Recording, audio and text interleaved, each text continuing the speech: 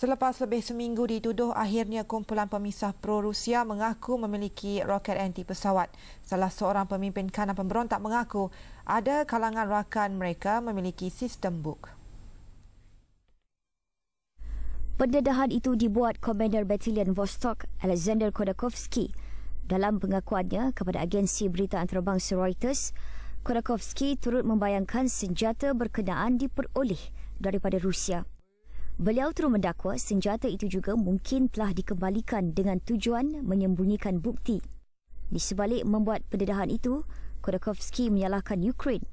Jelas beliau, Kiev telah melakukan provokasi terhadap kumpulan pemisah supaya melancarkan roket BUK apabila mengetahui kumpulan pro-Rusia itu memilikinya. Katanya pada 17 Julai lalu, pesawat pejuang Ukraine kerap terbang di ruang udara wilayah timur negara itu. Ia termasuklah terbang melalui laluan pesawat komersial. Ia sengaja dilakukan supaya roket yang dilancarkan akan terkena pesawat awam. Strategi itu akhirnya menjadikan MH17 menjadi mangsa. Sebelum ini, agensi risikan Amerika yakin kumpulan pemisah telah tersalah sasaran kerana beranggapan MH17 adalah pesawat lain yang mengancam mereka. Pihak tentera Rusia pula pada Isnin mendedahkan bukti kehadiran pesawat Ukraine yang terbang hampir MH17 sejurus sebelum ia ditembak jatuh.